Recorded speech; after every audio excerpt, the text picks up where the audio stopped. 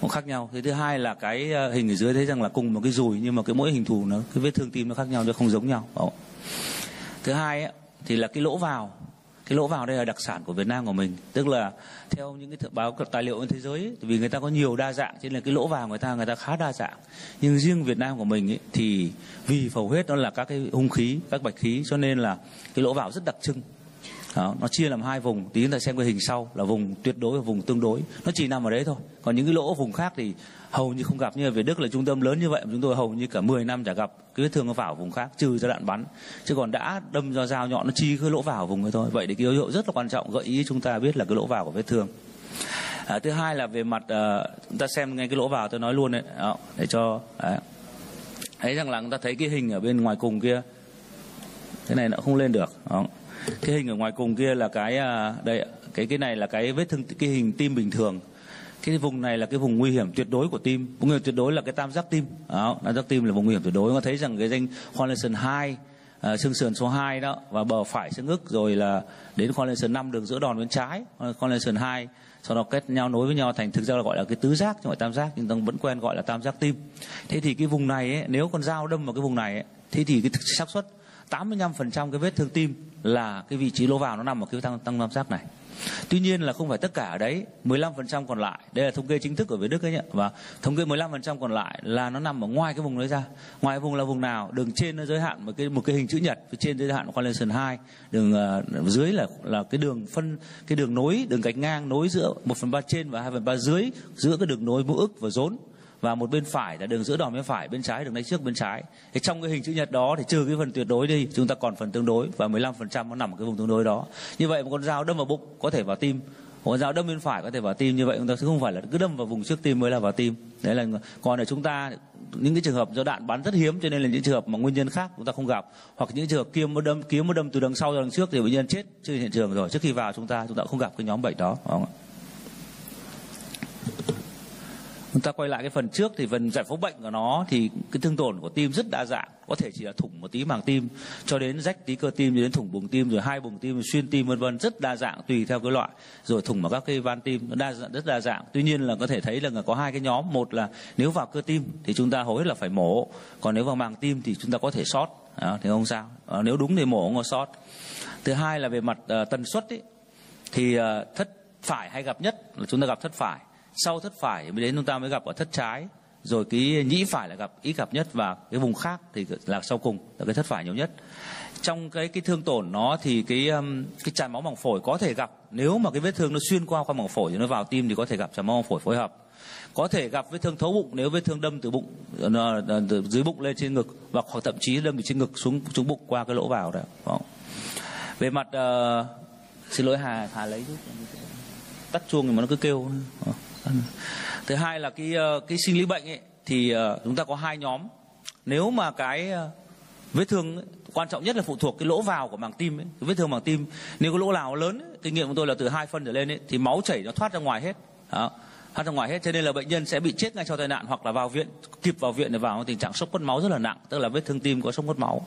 Cái nhóm ấy rất hiếm gặp vì bệnh nhân rất nặng rồi rất chết nặng nhóm thứ hai nó gặp hay gặp hơn tức là cái tim nó chảy máu nhanh lắm rất là nhanh tuy nhiên là chúng ta không không không không không không ra rất nhiều và chúng ta thấy rằng là máu chảy ra nếu cái lỗ thủng bằng tim nó nhỏ vết thương nhỏ thì máu chảy ra quá nhanh nó không kịp thoát ra ngoài mà đông bánh ở trong nó lại. Lúc ấy nó thì nó tạo ra một cái, cái hội chứng ép tim cấp nó chèn quả tim là máu không chảy nữa và bệnh nhân còn sống đến viện. Như vậy tóm lại là cái nhóm chúng ta gặp vết thương tim đến bệnh viện chúng ta thì là hầu hết là cái nhóm và hội chứng ép tim cấp chứ không có hội chứng mất máu cấp hoặc là vừa ép tim vừa mất máu tức là một chút nọ chút kia chứ còn cái nhóm mất máu cấp đơn thuần đấy rất hiếm gặp trên lâm sàng cái buồng tim bị thưa ờ, vị trí ờ, ờ, cái buồng tim bị thương ấy, vì chúng ta là hầu hết là do cái hung khí đâm. Cho nên cái buồng tim bị thương ấy, nó lại định hướng theo cái vị trí lỗ vào. Rất là hay, có nghiên cứu. Nó không hẳn ở chúng ta là thế này là thế này thế này, thế kia, nhưng mà nó nghiêng sang cái hướng này. Ví dụ như là vết thương mà đâm vào bên trái nhiều, thì thường nó vào thất trái.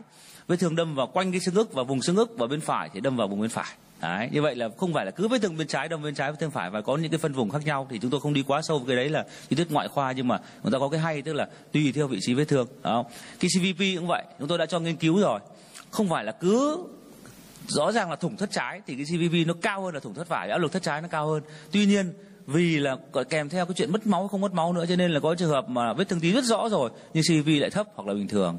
Có trường hợp vết thương tim vừa phải thôi CV lại cao. Tức là gì? Tức là cái máu nó tồn động ở trong bằng tim và nó tạo như vậy hai yếu tố, một là cái áp lực của cái buồng tim nó chảy máu ra, thứ hai là cái lượng máu tồn động trong người nó tạo ra cái cvb cao, chứ không phải là cứ là bên trái là cvb cao. Vậy cvb cao là một trong những triệu chứng tốt để chẩn đoán với thường tim, nhưng không phải lúc nào nó cũng có không? cái mức độ dịch trong màng tim cũng vậy. Ở bên ờ, thường ở, vết thường ở bên trái thì rất nhiều dịch bên phải, tim phải thì thường ít dịch không nhiều chỉ 15 ly đổ lại nhưng bên trái có thể đến 20 25 30 ly được. Đây là những cái trường hợp đặc thù của cái, cái đặc điểm với thương tim chúng ta thấy là có những cái đó nhưng mà không khẳng định được cho hoàn toàn là thế này thế kia nhưng mà nó có cái gợi ý. Vâng Đúng không? Này, xem rồi vâng. À, thấy rằng về chẩn đoán vết thương tim ấy thì phụ thuộc vào định nghĩa nhất là vị trí lỗ vào. Thứ hai bao giờ hầu hết có trên 90% có đau ngực và khó thở sau khi bị thương. Thế rồi các cái dấu hiệu tĩnh mạch cổ nổi gan to có hay không có? Nó có khi nào có ép tim? Không có ép tim thì không có không rõ đó. CVV tăng thì có trường hợp tăng, có trường hợp không. Nhưng mà nếu mà thường là gì, có ép tim thì nó tăng, mà thường là bên thất trái thì nó tăng hơn là bên thất phải. Có vậy thôi, chứ không phải lúc nào nó cũng tăng. X quang ngực, bóng tim to bờ sắc nét, cái này chúng ta thấy là cái đặc trưng của nó. Bóng tim nó to ra, và cái bờ tim ấy là nó sắc nét, nhìn rất rõ cái bờ tim và siêu âm tim có dịch bằng tim cái này thì trên 90% cái vết thương tim, trừ có cái thủng bằng tim một tí hoặc rách một tí cơ tim thì không có rồi còn tất cả các vết thương tim đều gặp có dịch bằng tim hết. Lượng dịch nhiều hay ít thì tùy theo cái tưởng tượng tình trạng bệnh. Nhiều có thể đến 3 phân 3 phân rưỡi mà ít có thể đến 5 ly 7 ly 9 ly chẳng hạn thế. Ít khi gặp là những cái một số cái thể, ví dụ như sốc mất máu là hiếm gặp này rồi vết thương do hỏa khí, hiếm lắm. 10 năm mới gặp đồng cái, hai cái, rất hiếm ở Việt Nam mình. Vì hỏa khí thì cái lỗ vào có thể bất kỳ chỗ nào. Không nhất thiết là cứ phải ở vùng nguy hiểm của tim. Và thường là chúng ta thấy được một vết thương chột chúng ta có thể chụp nhìn thấy hình ảnh dị vật nó nằm trong lồng ngực, trên vi quang ngực. Nếu vết thương mà tầm bắn ở xa mà vết thương chột hoặc là các can thiệp do y học thì chúng ta bây giờ làm can thiệp nhiều lắm để vết thương tim do can thiệp y học là có. Như đặt stent vành nó thủng động mạch vành ra rồi đặt bùng à, can thiệp trong buồng tim thông nguyên nhĩ để thủng qua vách thủng qua lách lên nhĩ từ à, cổ thủng qua nhĩ trái chui ra ngoài bằng tim có. Nhưng thông thường cái là cái biểu hiện lâm sàng có thể ép tim mức độ thể nhẹ thôi và cái điều trị nó thì trước đây để phải mổ tuyệt đối nhưng bây giờ không nhất thiết phải mổ. Chúng ta dẫn lưu bằng tim nếu ổn có thể không cần phải làm gì nữa. Đấy là những cái trường hợp vết thương tim mà do can thiệp. Về trường hợp là xử trí thương cơ sở thì nó có hai cái nhóm bệnh nhóm thứ nhất là ở các tuyến cơ sở mà chúng ta không có khả năng uh, mở ngực. Uh, thì chúng ta chỉ sơ cứu thôi. Cái sơ cứu nó bao gồm những cái gì?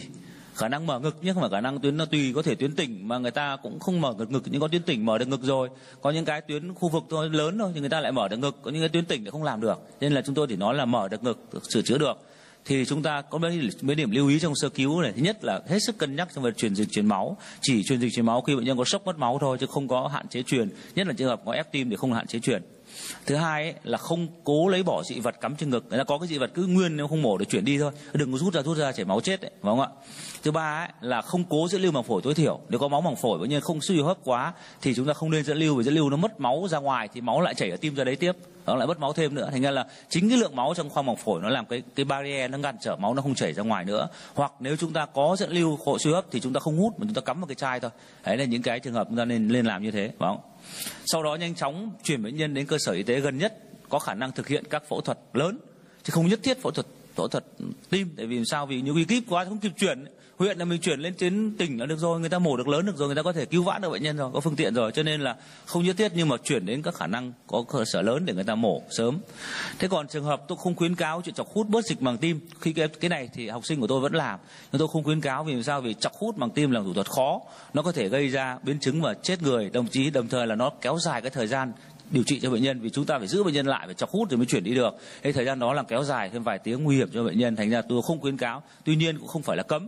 Chúng ta có, nếu có siêu âm, có định hướng, có gai đinh tốt thì chúng ta có thể chọc hút bớt dịch bằng tim. Trong trường hợp gì có ép tim quá nặng, bệnh nhân bệnh nhân bị ép tim quá nặng vừa rồi không thể di chuyển được thì chúng ta có thể chọc hút bớt 100 200 cc cho bệnh nhân nhẹ đi một chút rồi chuyển vội đi thì có thể kịp. Thì chúng tôi đã cứu được một số trường hợp như vậy cái chuyện đặt catheter dẫn lưu màng tim trong vết thương tim thì không nên. Vì vết thương tim là cái tố cấp cứu trên catheter thì không không làm cho cấp cứu không làm chỉ có trường hợp đến với mình đâm vào ngực. Tuần sau đến chúng ta có dịch bằng tim trường hợp đó chúng ta có thể dẫn lưu bằng tim đánh giá. Trường hợp bệnh nhân trong vết thương tim tươi cấp cứu ấy, thì chúng ta không làm thủ thuật này. Đó. đối với các cơ sở có năng lực mở ngực ví dụ như là tuyến tỉnh trở lên chẳng hạn thế rồi chúng ta có mấy cái giải pháp hoặc là chúng ta sơ cứu rồi chuyển tuyến trên nếu toàn trạng bệnh nhân tốt. Nếu chúng ta không chắc chắn lắm thì thôi thì cho chắc chắn là như vậy sơ cứu rồi chuyển. Thứ hai nếu chúng ta mổ mổ cấp cứu xử trí vết thương tim thì chúng ta chọn thứ nhất là chọn đường mở nào thì tí chúng ta sẽ xem có mấy đường mở đường mở ngực trước bên bên trái đó này đường mở dọc giữa xương ức đó, và đường mở trước tim bên phải. Đấy là những cái đường mở để vào xử lý vết thương tim ở hoàn cảnh Việt Nam đó. thế thì à, đấy là những cái thì chúng ta mới sang cái này chúng ta xem luôn cái đường mở. Chúng ta thấy rằng là đây là cái phân vùng cái đường mở rất là hay tức là cái mà cái bên trái đó cái đường nếu mà tất cả nó thấy một cái đường mà mờ màu à, ghi sáng ấy, ở giữa cái ô chữ nhật tôi ghi đấy. Thì cái đường mờ đó nó được cách cái bờ phải bờ bờ trái của xương 2 cm vậy tất cả các lỗ vào vết thương ấy mà nó ở bên phải cái cái đường vạch đó thì chúng ta đi bằng cái đường là gì? Mở xương ức còn cái lỗ vào vết thương mà đi ở bên trái cái đường mở đó thì chúng ta đi qua đường mở ngực bên trước bên bên trái. Đấy là cái khuyến cáo của chúng tôi vì đi đường ấy mới làm được. Cái nhất cái thứ hai là nếu mà vết thương mà đâm vào cái vùng đó hoặc là vết thương đâm vào vùng bụng rồi đâm lên ngực thì chúng ta cũng đi đường mở xương ức thì mới giải quyết được đó. Thế còn trường hợp mở ngực phải thì rất hạn hữu ở tuyến cơ sở thôi, vì làm sao ngực phải chỉ dành cái trường hợp mà cái vết thương nó đâm tít ở phía rìa bên phải của cái khung này, chữ nhật này, thì chúng ta có thể mở ngực phải xử lý được. Nhưng mà ngực phải cũng không an toàn. Nếu các anh không có kinh nghiệm cho nên là cứ chọn hai cái đường là mở xương ngực hoặc là mở ngực trái thôi để là chúng ta có thể làm được chúng ta quay lại tiếp cái slide thì uh, thứ hai là một cái trong cái hướng là chúng ta xem xét một tuyến trên tuyến trên hỗ trợ chuẩn bị mổ tim hở. Trên tuyến trên ví dụ chúng ta bây giờ là phương tiện giao thông rất là tốt rồi. Ví dụ bệnh nhân ở tỉnh phú thọ tỉnh uh, yên bái tỉnh ở thế. Tức là cái di chuyển của các thầy thuốc ở các bệnh viện lớn lên rất là nhanh. Thì trường hợp nặng quá chúng ta có triển khai phòng mổ rồi mời các thầy lên mang phương tiện lên hỗ trợ thêm nữa để có thể triển khai được. Thế rồi nếu chúng ta cơ sở chúng ta có cái uh, chuẩn bị sẵn hoặc chúng ta mời được thì các thầy mang theo cái các, các phương tiện để mổ tim hở. Để trong trường hợp đó có mổ tim hở có thể cứu vãn trường hợp nó quá nặng. Đúng không ạ? Thế rồi kết nối online với các thầy vừa mổ vừa hỏi. Thường xuyên tôi phải trả lời điện thoại trong đêm như thế anh em vừa mổ vừa hỏi thầy ơi giờ thấy này như này làm nào? Thì các thầy sẽ gặp sẽ hướng dẫn cho những cái gai gai, gai, gai những trong quá trình mổ cho tốt. Và có trường hợp mà mổ xong rồi nhưng bệnh nhân nặng quá, phải mổ tại chỗ, nhưng mổ xong không hồi sức được, bệnh nhân nặng quá thì chúng ta có thể gì ạ?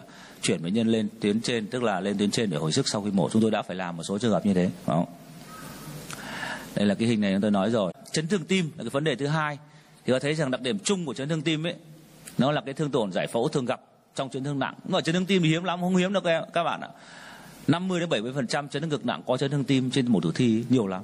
Tuy nhiên chúng ta thực tế là gặp rất ít chả gặp mấy, hiếm lắm, vô cùng hiếm luôn, nó bệnh vô cùng hiếm luôn.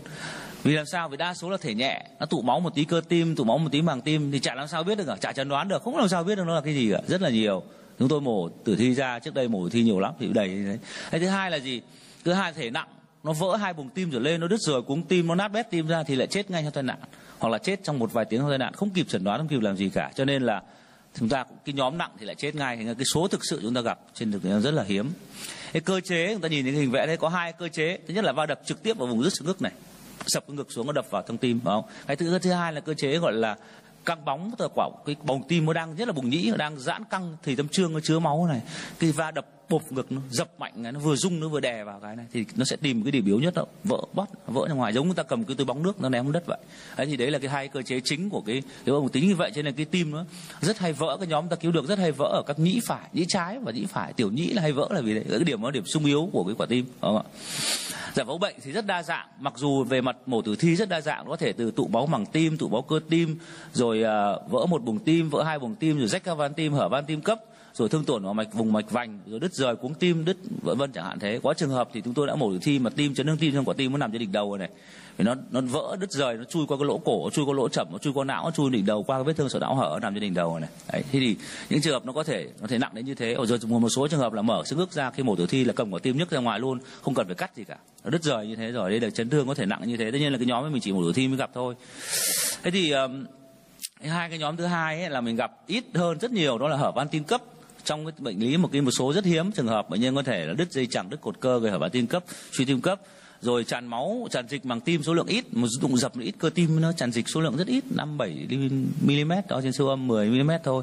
Hoặc rồi nó có một số rất hiếm trường hợp rối loạn nhịp tim đó là các biểu hiện của chấn thương tim. Và thấy rằng cái cơ chế là như vậy.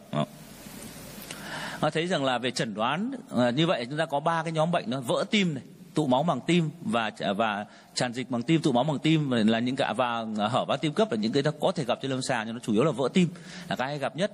Thế vỡ tim là gì? Thì khái niệm chúng ta hiểu là cái từ vỡ tim ấy là cái mà vỡ một buồng tim, vỡ một buồng tim mà thường là buồng nhĩ, chúng ta mới thể gặp. Chứ còn vỡ từ hai buồng tim mà lên thì rất hiếm. Bản thân tôi là người mổ cái này rất nhiều thì mấy chục năm trong nghề chỉ gặp được khoảng 3 có 4 ca vỡ từ hai buồng tim lên mà còn sống được thôi. Chứ còn nói chung là chỉ có vỡ một buồng tim thôi mới sống được. Đó. thế thì à, cái chẩn đoán là có va đập rất mạnh ở mặt trước xương ức vào chúng ta có xây sát ra vùng trước ngực rất đau ngực và khó thở. Đấy là đặc trưng rất cơ bản của chấn thương tim vì hầu hết nó là hội chứng ép tim cấp vết thương tim thường là vỡ một buồng tim và vỡ được đến với chúng ta hội chứng ép tim cấp. Và tim cấp rất điển hình là bệnh nhân gì? Lâm sàng chả có gì cả xây sát thứ ngực có khi phổi có chạm sao nhưng mà vô cùng đau ngực và khó thở. Đấy là cái đặc trưng rất điển hình của cái đó. À, môi tím cái thứ.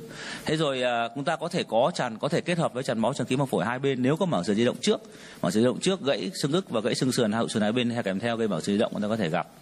Thế mà xử trí sơ cứu ở tuyến cơ sở ấy, chúng ta cho thở oxy rồi à, hạn chế truyền dịch hầu hết là gặp chúng ta thể ép tuyến cấp này hạn chế tối đa việc truyền dịch này. Dẫn lưu màng phổi nếu có tràn máu tràn khí màng phổi kèm theo thì chúng ta dẫn lưu màng phổi tức là có chấn thương ngực kèm theo. Rồi à, chọc hút dịch khoang màng tim nếu ép tim quá nặng. À, cái này chúng tôi trường hợp này vì thường là ép tim rất nặng nên có thể khuyến cáo như chúng tôi nói lúc nãy.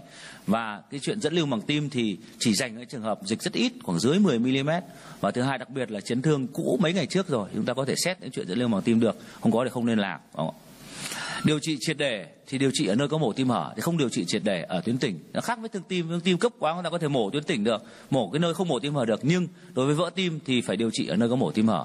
Vì chúng ta không biết đường nào mà nói khi mở cái ngực ra thì không biết đường nào mà đi cả. Mà lần nào, thì lúc ấy bắt buộc phải có tim hở, chúng ta mới cứu được. Chứ nếu mổ không thể đùa với gọi là cưỡi trên lưng hổ được, mà mở ra rồi mà ngồi chết dở, thành ra là phải nở mới có tim hở. Nó là được xếp vào phẫu thuật cấp cứu phải có chuẩn bị tim phổi máy. Đôi khi mổ ra không dùng tim phổi máy, cái tiểu nhĩ người ta kẹp nó buộc được ngay, khâu được ngay. Nhưng có khi phải chuẩn bị sẵn tim phổi máy. Đường bao giờ đường mở dọc giữa xương ức và luôn luôn chuẩn bị ở bên cạnh. Nếu có điều kiện, cái bóng đối xung và cái ecmo hỗ trợ để nhỡ sau mổ nó suy tim chúng ta có phương tiện để hồi sức cho bệnh nhân. Đấy là những cái điều trị triệt để rất quan trọng còn còn nếu mà mổ xong, ví dụ như là một số bệnh viện, ví dụ ngay bệnh viện đa khoa phú thọ chẳng hạn đấy, là nơi có thể triển khai tiêm mở được. Chúng tôi có thể giúp trên đấy mổ được, nhưng mổ xong hồi sức nặng quá, anh không hồi sức được phù phổi, rất vết lết ra, thì sau khi mổ xong có thể chuyển lên về đức, chuyển lên bệnh viện tuyến trên để mà tiếp tục hồi sức cho bệnh nhân chẳng hạn đấy.